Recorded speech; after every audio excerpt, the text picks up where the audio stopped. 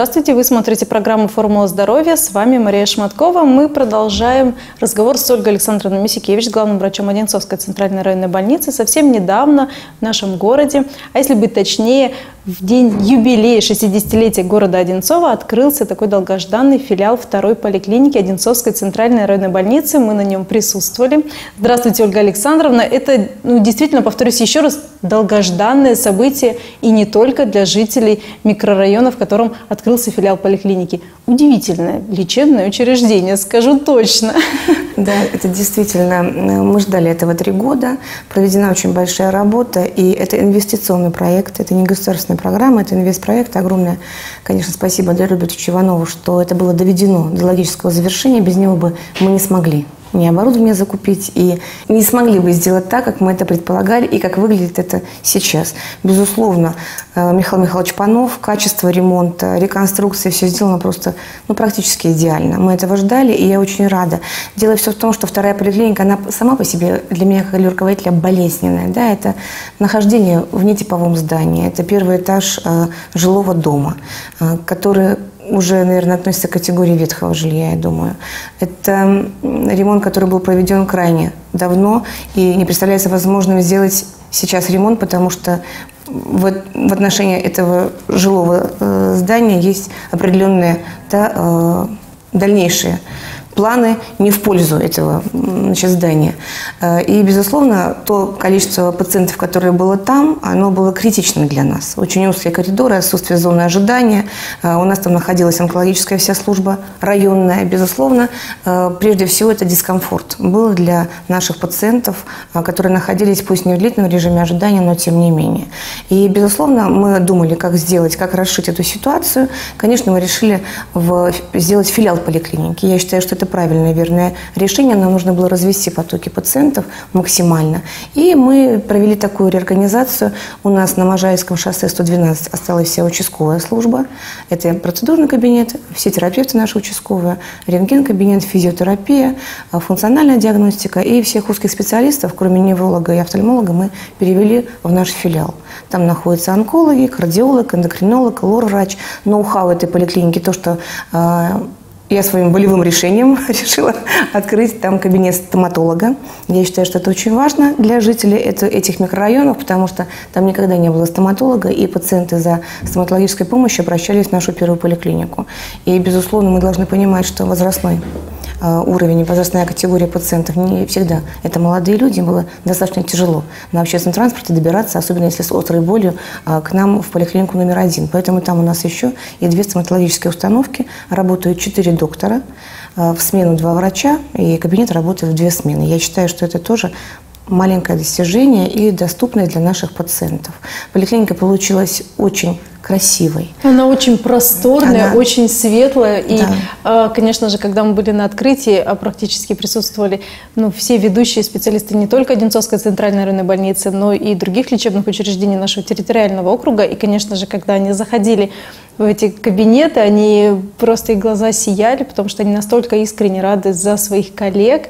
Это действительно новейшее учреждение с, новым оборудованием и очень действительно ну, свободное, просторное и светлое, красивое. Эту поликлинику по праву можно взять за стандарт за стандарт, вот Москов... Хочется, правда, чтобы за стандарт. Московской области по а, поликлиникам. Действительно, чтобы это был стандарт. А, вот это, она, она небольшая, это около 700 квадратных метров, но тем не менее. Хотелось бы, чтобы строились и большие крупные поликлиники да, с отдельно стоящими зданиями, но та начинка, которая внутри, да, тот э, художественный подход, э, колерование, потрясающая мебель. Мебель, которая действительно, она долгосрочного служения на благо наших пациентов. Это оборудование, которое там. Это последнее, в общем-то, поколение технологий, наверное, из государственных учреждений сейчас вот данный филиал, он, наверное, лучше, и в районе равных нет. По госучреждениям, конечно, хочется, чтобы это принято было за стандарт. Также в поликлинике открыто три кабинета онколога, то есть вся служба будет теперь находиться там. Как они будут функционировать? Да, как это будет дальше мы, развиваться, а, это направление? Мы пока, к сожалению, к нашему сожалению, нашей центральной районной больницы, я говорю об учреждении, к сожалению, до сих пор обслуживаем весь район. Это 9,5 тысяч онкобольных. Безусловно, я повторюсь, что крайне тяжело людям добираться со всего района а, в нашу больницу для а, первичных консультаций а, и так далее. Конечно, повторюсь, что еще нужно три кабинета а, онкологических в районе, в трех лечебных учреждениях. Это Голицынская поликлиника, это Никольская больница и районная больница номер два. Лицензия уже есть в районной больнице номер три, лицензия есть в районной больнице номер два. Конечно, крайне тяжело подбирать кадры, потому что это сельская местность, безусловно. Но я думаю, что если придумать какие-то такие ну, методы бонусные, э, потому что у нас работает программа ипотеки, у нас существует компенсация аренды жилья, наша больница может выступать как базовое учебное такое подразделение для стажировки э, на рабочих местах онкологов. Обязательно, конечно, нужно укомплектовывать штат, потому что именно э, с района к нам приходит 3,5 тысяч 3,5 тысячи пациентов, которые не закреплены за, нашим, за нашей поликлиникой. К нам идет 9,5 тысяч населения больных онкозаболеваниями. И, безусловно, эта поликлиника, она подходит для этого, потому что сделаны шикарных три кабинета. Это онкохирург, онкогинеколог и э, просто онколог, которые должны работать, и они работают в две смены. У нас работают два постоянных доктора, три совместителя. Мы сейчас перекрываем полностью две смены практически, то есть с утра и до вечера. И стараемся оптимизировать работу в этом направлении. Там же на месте у нас прекрасный кабинет ультразвуковой диагностики.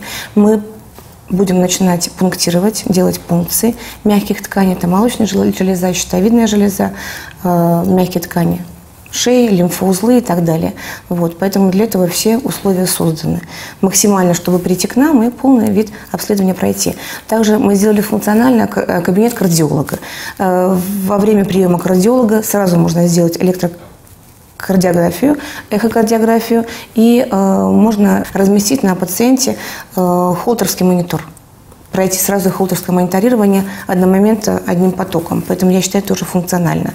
Вот. Так что мы старались. Да, небольшое, наверное, неудобство – это то, что это по разным адресам, но это находится в шаговой доступности. Я думаю, что все-таки пациенты к этому привыкнут, и та поликлиника, которая сейчас существует, филиал, она понравится и будет эффективно в работе. Ольга Александровна, ведется масштабный ремонт в детском, детской больнице города Одинцова на улице Неделина. Когда он будет завершен и что вы приготовили там из сюрпризов для нашего детского населения? Конечно, хотелось бы, чтобы у нас была детская больница немножко другая, чтобы она была многопрофильная, чтобы детки не пересекались со взрослым населением, взрослыми пациентами, как у нас это и сейчас по профилям травматология, лор, а, хирургия. Я сразу хочу с проблем начать. Да? Хотелось бы, чтобы это была хорошая многопрофильная больница. Но мы живем в тех условиях, в которых пока мы живем, и стараемся выполнять функционал достойно в тех условиях, которые есть. На Любы Новоселовой у нас а, детское соматическое отделение – это не больница, это подразделение наш, нашей больницы. Но там проводится сейчас капитальный ремонт. Она сейчас закрыта на прием. Принимает деток Никольская больница, принимает деток Звенигород. Это общесоматические заболевания. Как мы принимали детей со всем остальным хирургическим профилем, все равно мы их принимаем, дети находятся у нас, мы их оперируем. Проводится капремонт, проведен сейчас э, этап какой? У нас полный демонтаж и начинается монтаж. Это плитка, это места общего пользования, сантехнические, полностью смена всей коммуникационной системы, электрика, сантехника, э, водоснабжение, вентиляционная система будет монтироваться новая. Э, и то, что будет в, детской, в этом отделении новое, это э, подразделение КДЦ, Отделение диагностическое – это эндоскопия, отделение функциональной диагностики. То есть у нас сейчас на, в нашей поликлинике, основной детской на улице Говорова, поликлиника получила статус КДЦ. Но нам не хватало места для бронхоскопии, гастроскопии, полностью для эндоскопического отделения, ультразвуковую диагностику дополнительно сделать. КДЦ ведь работает на весь район.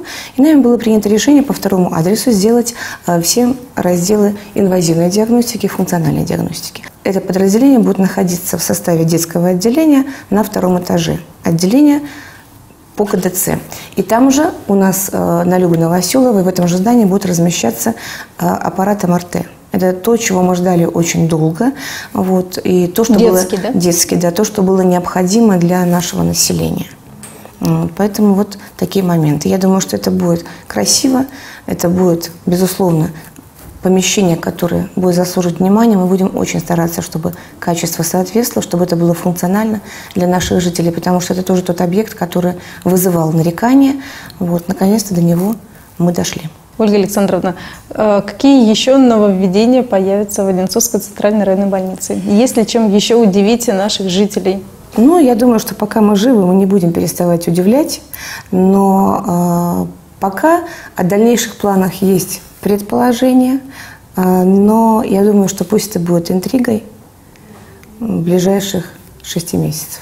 Ну, я думаю, что мы с вами увидимся раньше, и вы расскажете о новых победах и достижениях Одинцовской центральной районной больницы. Безусловно. Я просто хочу отметить, что вся работа, которую мы проводим, и все реорганизации, какие-то реформы, наши внутренние, да, они все направлены только на одно – на здоровье наших пациентов и жителей Одинцовского района. Спасибо вам.